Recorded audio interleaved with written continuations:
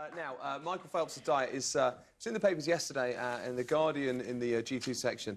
One of their journalists today has eaten, attempted to eat the Michael Phelps diet, but his breakfast is amazing. So we have it here. He has he, he has this many fried eggs. In, well, fried egg sandwiches, which include mayonnaise and cheese. So it's mayonnaise and cheese, uh, along with fried eggs and mushrooms in white bread. That he's only just begun at that point, Tim.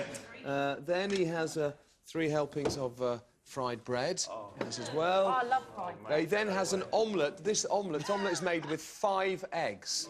There's five eggs in an omelette. Uh, he then he has uh, some uh, some porridge, got a little dry and looks uh, rather Does uh, he run a pub in. Wales?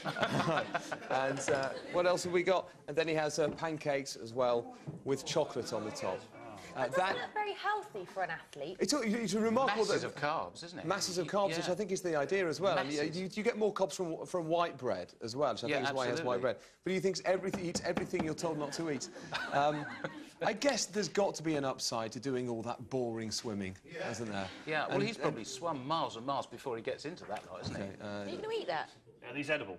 I don't know really. I think we probably bought them a few Well, they were hours ago. yesterday Yeah, when it you was can, made. You can, you Yeah, can they were being have them if you made. like. They were made this morning. Oh, there we go.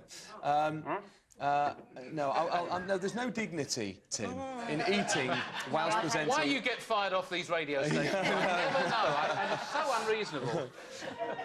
Uh, we will. It really is easy to make this audience applaud. Um, so there we go. There is the Michael Phelps uh, breakfast, but it's a really interesting article in the uh, G2 section of The Guardian today, if you fancy having a read of that. Right, after the break.